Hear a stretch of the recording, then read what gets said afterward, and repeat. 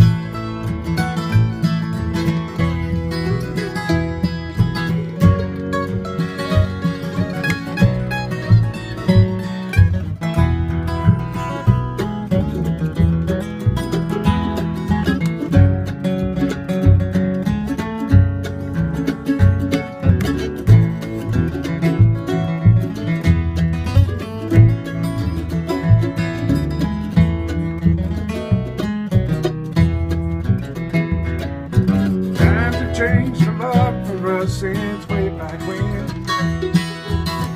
Paul got old and passed on. Radio business round in late December. By the third month of summer, we had a storm. Grandma sits and talks about it lately. I guess she misses the old man's smile. Lord, how I'd love to